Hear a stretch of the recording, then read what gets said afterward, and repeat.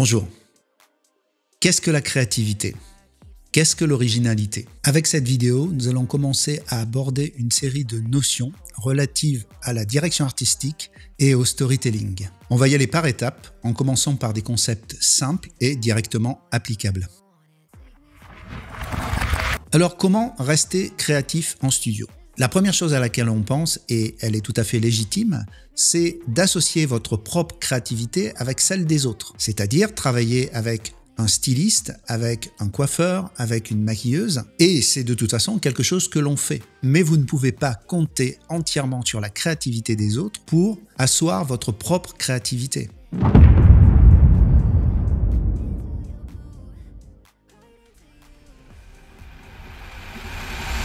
Dans la définition de créativité, il y a des choses très très intéressantes. La première définition, c'est le fait que quelqu'un ait le pouvoir, les capacités à créer quelque chose de nouveau. La deuxième définition est très importante. La créativité, c'est notre capacité à relier les choses entre elles pour en créer de nouvelles.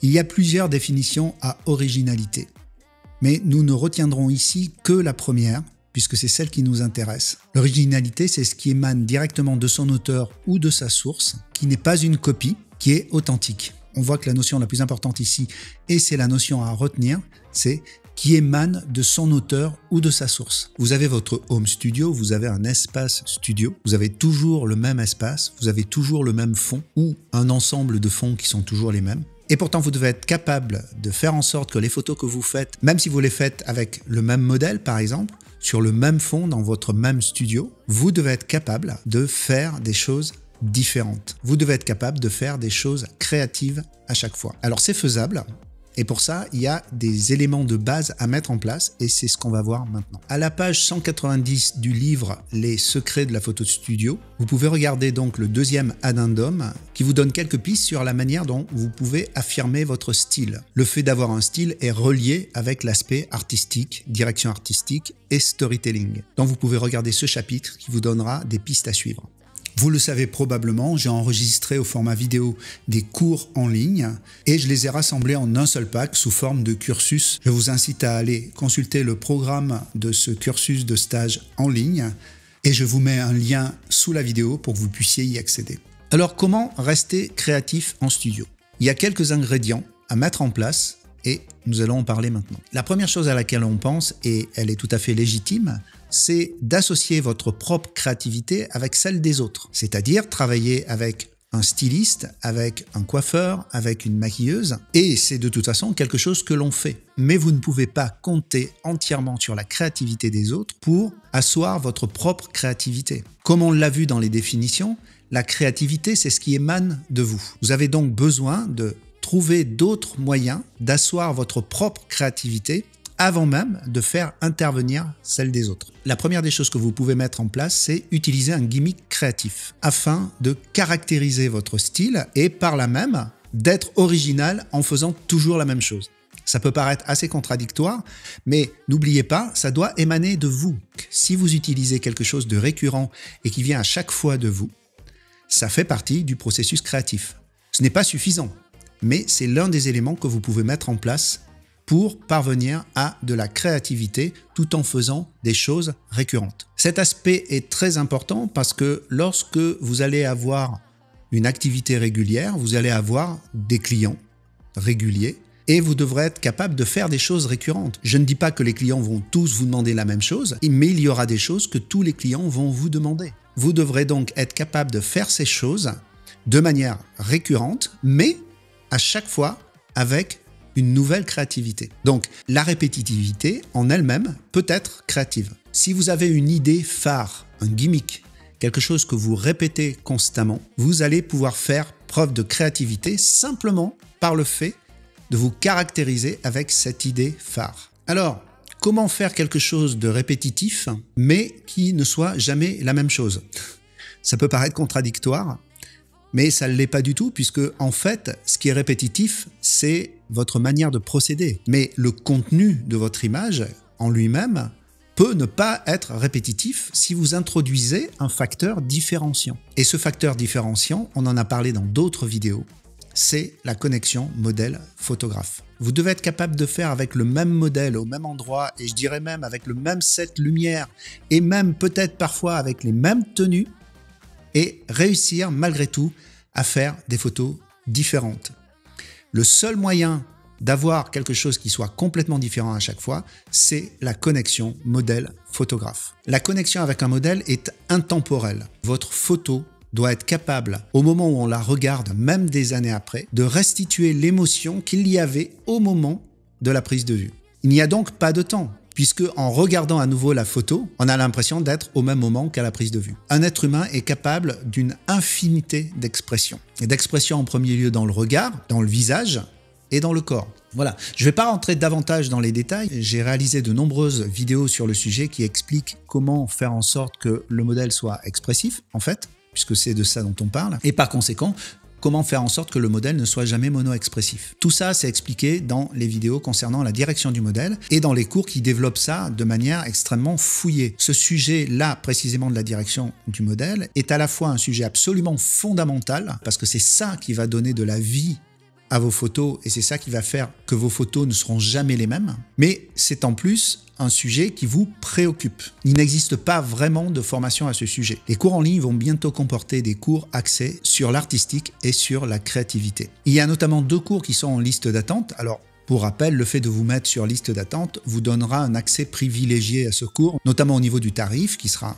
préférentiel, moins élevé, si vous êtes sur cette liste d'attente. Il y a un premier cours qui va parler du mood board, comment réaliser un document de type cahier des charges mood board pour vos shootings, et ce de manière extrêmement détaillée. Et le deuxième cours parle du cadrage.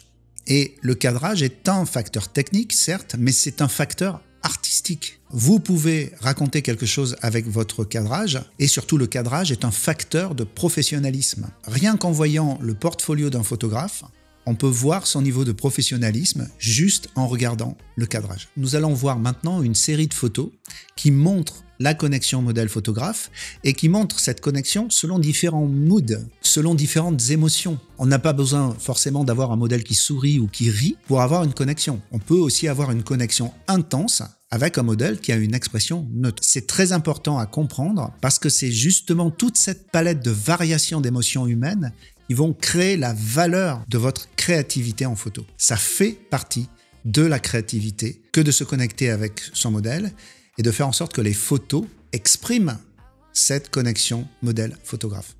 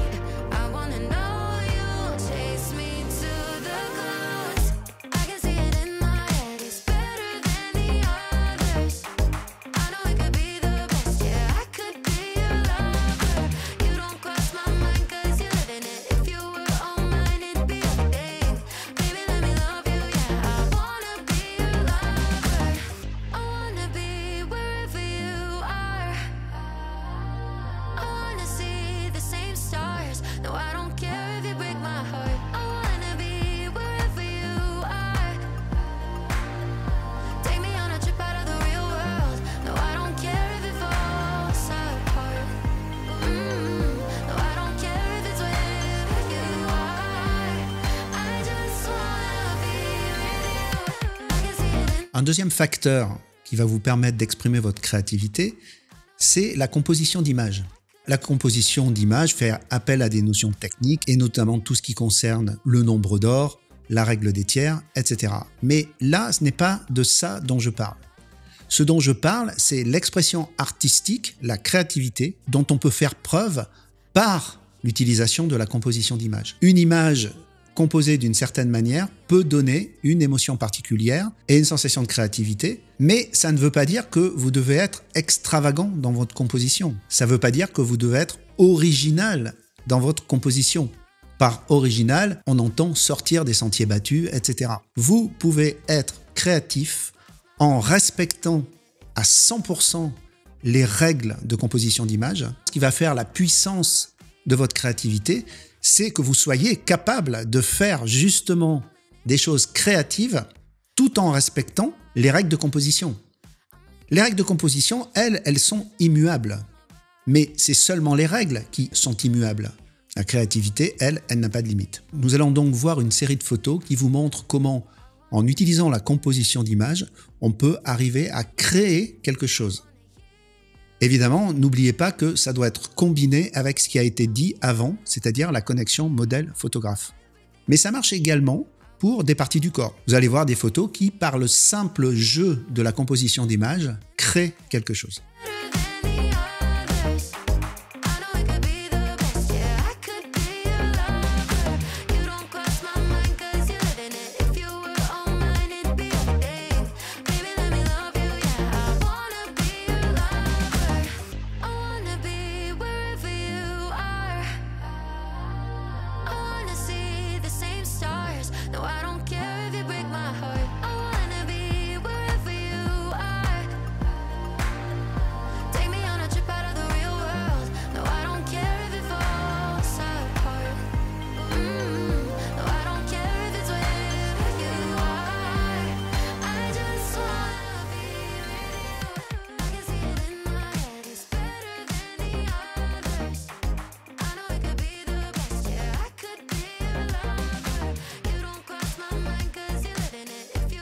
L'élément suivant qui va vous permettre d'exercer votre créativité tout en faisant des choses ordinaires, c'est le stylisme. Alors, j'en ai parlé un petit peu plus haut, le stylisme, c'est vrai que c'est utiliser la créativité des autres pour exercer sa propre créativité. Ça correspond d'ailleurs à une des définitions de la créativité qui est notre capacité à relier les choses entre elles pour en créer de nouvelles. Je prends un exemple concret. Vous utilisez un foulard. Le foulard a été créé par un artiste qui a créé le motif. Vous, vous allez réutiliser ce foulard pour créer quelque chose de nouveau en reliant la créativité de l'artiste qui a créé le foulard avec la vôtre. Vous allez utiliser le foulard en bandeau dans les cheveux, vous allez l'utiliser autour du cou, vous allez l'utiliser sur le buste comme un top. Bref, vous allez exercer votre créativité avec la créativité des autres, le tout dans un contexte studio qui lui est neutre. La neutralité du studio, le fait qu'il y ait un fond uniforme, aide à la créativité par la notion de simplicité et le fait de réduire à l'essentiel. La simplicité et le fait de réduire à l'essentiel, c'est de la créativité. C'est un moyen d'exprimer le fait que on veut se concentrer uniquement sur le sujet. Et puis de toute façon, vous devez être capable de le faire, puisque vous n'avez pas le choix. Vous avez un studio. Et un studio, par définition, le fond est neutre. Bien sûr, vous pouvez utiliser un fond texturé, vous pouvez alterner vos fonds, vous pouvez utiliser des fonds peints, mais vous ne pourrez pas utiliser tout le temps un fond texturé ou un fond peint, parce qu'on va finir par repérer que c'est toujours le même fond. Alors que si votre fond est totalement neutre et ne contient absolument aucun motif, on n'aura pas cette sensation. Mais évidemment, vous devrez faire preuve de créativité d'une autre manière que en utilisant un fond texturé. Nous allons voir maintenant un ensemble de photos dans lesquelles la créativité a été exercée via le stylisme. Donc vous allez voir qu'il y a des tenues, il y a des bijoux, des accessoires, il y a de la coiffure et il y a du maquillage. Tout ça a été utilisé par les différents créatifs qui sont intervenus. Donc les stylistes vêtements ont créé les vêtements avec les motifs, les formes. Le coiffeur a créé le stylisme coiffure. La maquilleuse a créé le stylisme maquillage. Et c'est cet ensemble qui crée l'impact. Mais n'oubliez pas, ces photos regroupent également la connexion modèle-photographe et la notion de composition d'image. Donc en fait, la créativité est exercée certes par le stylisme, mais également par les points dont on a parlé avant, puisque dans la pratique, les choses sont toutes combinées ensemble pour parvenir à ce résultat de créativité.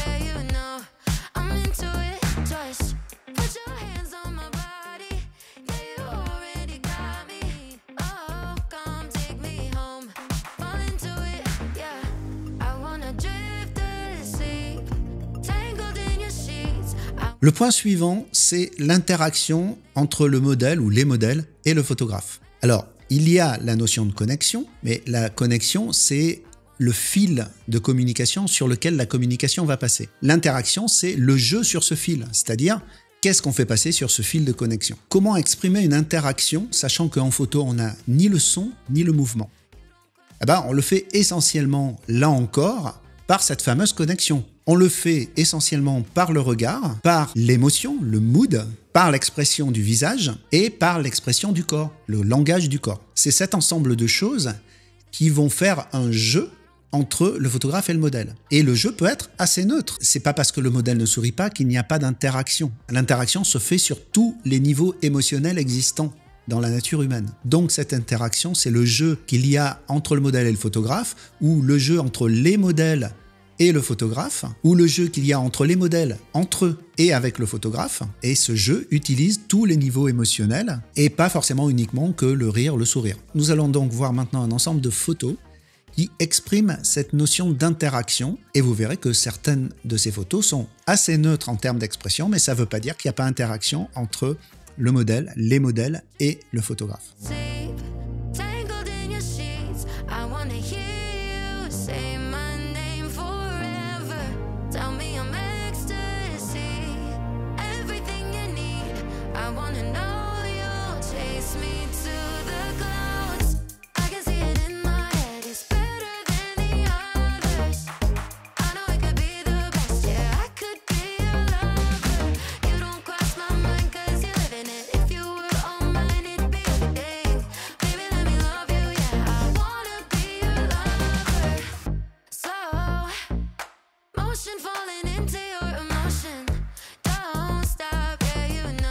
Le point suivant, c'est le storytelling, le fait de raconter une histoire.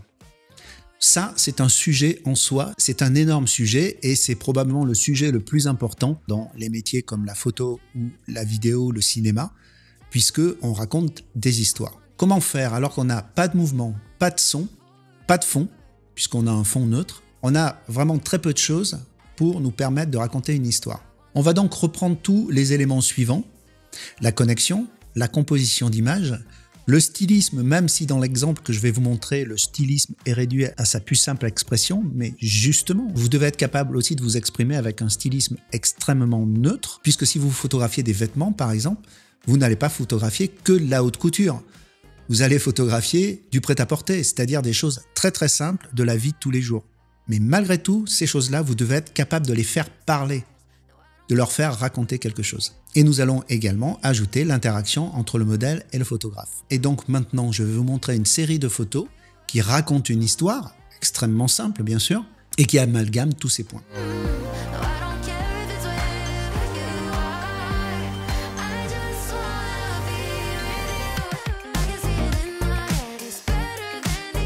Nous allons, pour terminer, analyser trois photos qui ont été réalisées avec le même modèle, sur le même fond blanc. Et pourtant, vous allez voir que ces trois photos racontent des choses complètement différentes et expriment une créativité complètement différente à chaque fois. On a d'abord cette première photo qui est faite en noir et blanc avec un modèle qui exprime du sérieux, une certaine dureté. Et on a au niveau de la coiffure un clin d'œil. Ceux qui connaissent Jean-Paul Goud et les campagnes Kodak appelées voleurs de couleurs, je vous renvoie à Google pour faire vos recherches sur ces campagnes des années 70 sur la pellicule Kodak. Jean-Paul Goud avait inventé des petits personnages qui étaient joués par des enfants, filles et garçons, et ces enfants avaient un bonnet sur la tête avec une colonne centrale qui partait vers le haut comme ça.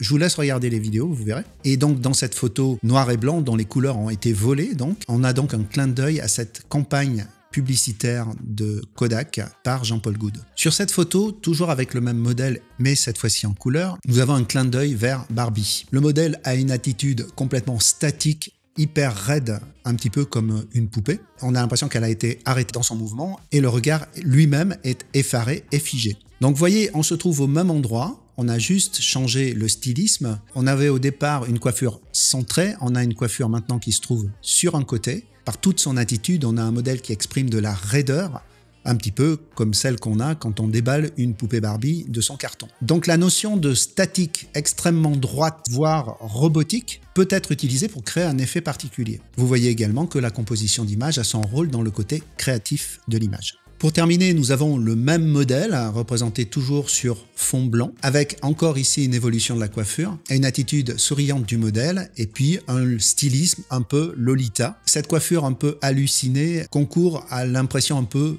étrange de l'ensemble, mais tout ça, ça vous montre que l'on peut être créatif en combinant les éléments dont je vous ai parlé. Développer votre créativité passe essentiellement par développer votre culture. Votre culture photo, mais également n'importe quelle autre culture adjacente dont vous pouvez vous servir pour enrichir vos shootings, et notamment la musique. Donc, dans le cadre de cette recherche de sources d'inspiration musicale qui pourront vous servir d'une manière ou d'une autre dans vos shootings photos. On va commencer par un chef-d'œuvre absolu qui est l'album de Pink Floyd qui s'appelle The Wall. Je vous mets le lien ci-dessous pour que vous puissiez accéder à cet album sur YouTube. Je vous mets également le lien vers une vidéo de David Gilmour, qui est le guitariste de Pink Floyd, sur un des titres phares de cet album, qui est Comfortably Numb, qui présente la caractéristique d'avoir deux solis guitare. Je vous donne donc le lien vers ce titre interprété par David Gilmour en live. Donc en résumé, vous voyez qu'on peut tout à fait être créatif en mettant en place quelques notions de base. Évidemment, on n'a pas fait le tour du sujet et il y aura d'autres vidéos sur l'aspect artistique, direction artistique et storytelling. La conclusion de tout ça, c'est que vous pouvez tout à fait être créatif si vous êtes en studio, que vous avez un fond neutre et que vous avez une simple tenue prêt à porter à photographier, un jean, un top, avec un modèle qui ne sera pas forcément apprêté de manière extravagante, et je dirais même parfois sans équipe artistique avec vous, c'est-à-dire sans coiffeur, sans maquilleur. Vous devez être capable de pouvoir le faire puisque toutes vos situations de shooting ne se feront pas forcément avec une maquilleuse et un coiffeur, et parce que vous devez être capable d'exercer votre créativité sans avoir besoin forcément de la créativité des autres. Voilà, c'est terminé pour cette vidéo. Si vous l'avez appréciée, je vous invite à regarder celle-ci. Et puis sinon, n'oubliez pas le plus important et l'essentiel, restez frais.